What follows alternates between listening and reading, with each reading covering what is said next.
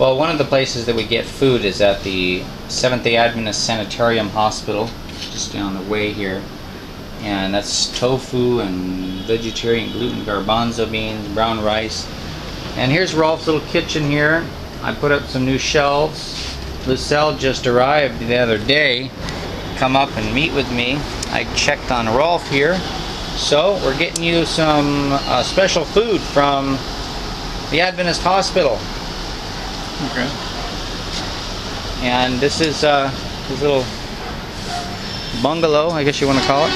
I built this little bamboo thing. He loves to sit out here. It's A little bamboo nipa. So I gave the U.S. Embassy this address so they have it. Um, they know where he's at. And the thing is, is I mean, I I need to get back into the province, and I've got things I have to do, and I really can't. I'm 46 years old. I can't take my life and you know direct it towards Rolf and uh, his life. I mean, he doesn't have enough money to pay me. I don't know how. I mean, I I really don't know what to do about this situation. Either he needs to, you know, be. We could adopt him as a grandpa. He could live with us.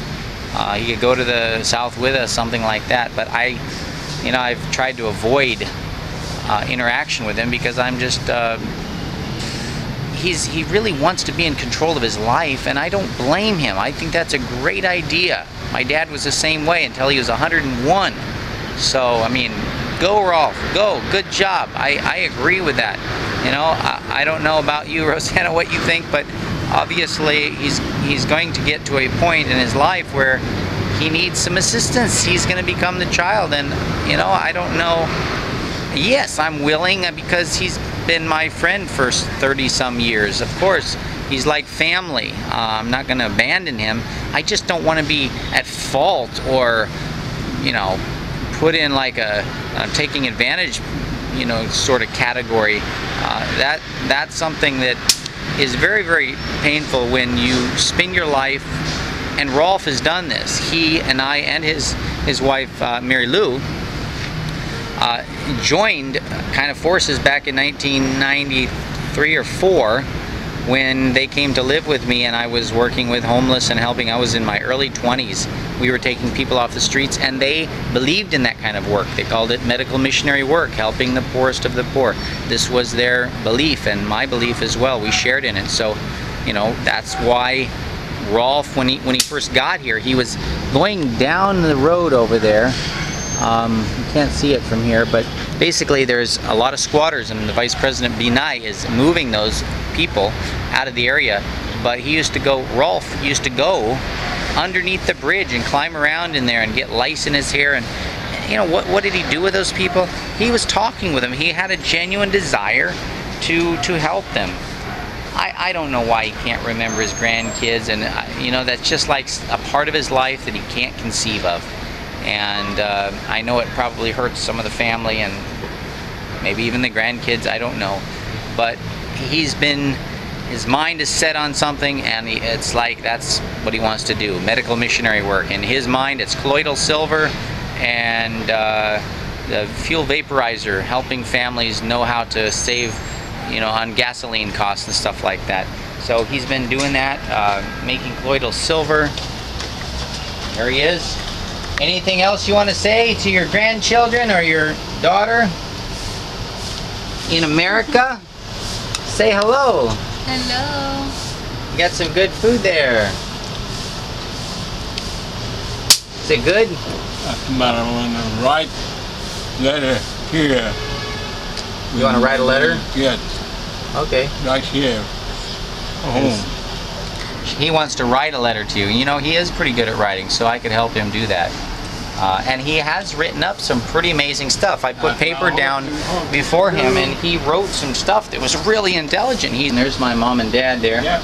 I put their their uh, picture up, and uh, this is one of the helpers down there in the island. But this is a beautiful, beautiful place, and uh, he likes it there. You can see it's really clean and pristine.